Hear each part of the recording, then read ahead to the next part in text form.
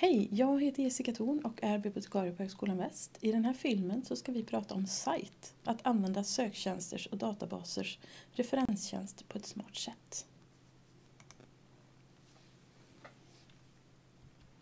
SITE, vad är då det? Jo, SITE ger mig underlaget till den referens jag vill använda. SITE finns också i många söktjänster och databaser. SITE är jättebra när informationen den bygger på är rätt inlagd i databasen eller söktjänsten. Men du behöver alltid dubbelkolla mot verkligheten, alltså det som står på din artikel. Du bör också alltid checka av mot din referera-guide. Skriver du med APA kollar du mot den mallen. Skriver du och jag använder Harvard till exempel så använder du den referera-guiden. Här får ni också länken till våra referera-guider på biblioteket Högskolan Väst. Vi börjar med bibliotekets sök och de, i de fall man kan använda sajt här. Biblioteket sök är ju vår söktjänst för allt material vi har. Site-funktionen fungerar bland annat när du söker artiklar men även e-böcker. När du har sökt så klickar du in på titeln på artikeln till exempel då. Därefter så ser du i högermarginalen lite olika val man kan göra och där klickar du på Site. När du kommer in i Site scrollar du fram till det referenssystem du behöver använda eller du ska använda. Du markerar referensen och kopierar in i din referenslista. Sen gör du den här dubbelkollen. Stämmer informationen och stämmer det med det referenssystem du ska använda. Vi har Libris via bibliotekets webb eller libris.kb.se. Libris är en söktjänst för böcker, avhandlingar och annat material som finns på olika bibliotek i Sverige. I Libris söker du titeln. Du klickar därefter in dig på rätt version av till exempel boken.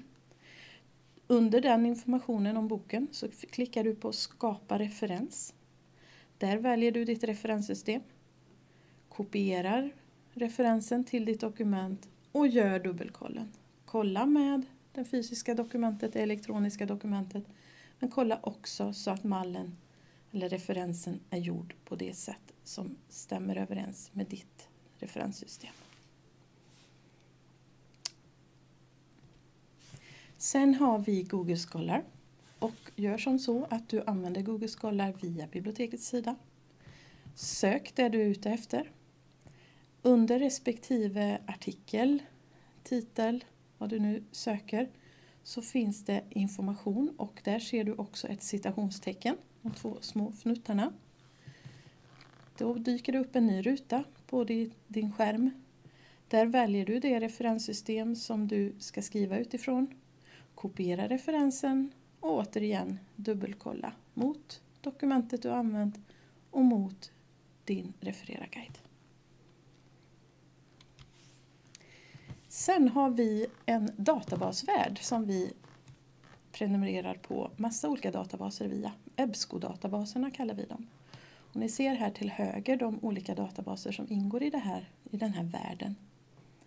Sinal, Erik, Medline, MLA, två stycken, Open Dissertations, två APA-databaser, -dat, eh, Psycharticle och PsycInfo, Regional Business News, Sociology Source Ultimate, Academic Search Premier och Business Source Ultimate. Söker du i dem har du också en sajtfunktion att använda dig av.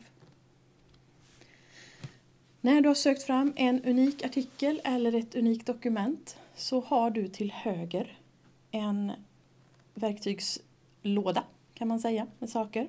Där finns Site Klicka på den, scrolla fram till det referenssystem du ska använda. Kopiera den referensen till ditt dokument och igen dubbelkolla. Viktigt, viktigt. Vi har en databas som heter Scopus. Även där, vid den unika artikeln. Där ser du många olika val över informationen om din artikel. Under More kan du där välja Create Bibliography. Där väljer du ditt referenssystem, kopiera till ditt dokument och dubbelkolla. I de här databaserna finns också sajtfunktioner. Det är ett urval. Vi har inte kikat över alla våra databaser, men ett urval finns det här. Cambridge Journal Online, IEEE, JSTOR, Literature Online, PubMed, Sage-databaserna, Springer, Taylor Francis och Wiley Online Library. Kika när ni är inne i de här och har hittat artiklar. Finns det en sajtfunktion? Testa och använd, men dubbelkolla.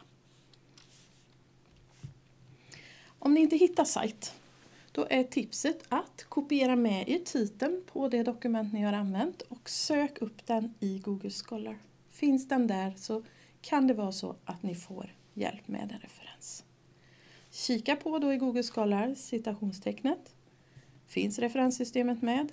Kopiera referensen. Kolla mot informationen på artikeln om det stämmer överens. Och checka av mot din refererarguide att referensen är rätt uppbyggd.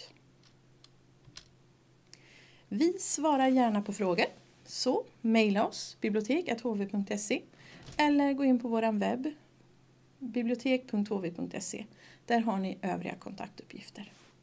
Lycka till med dina referenser!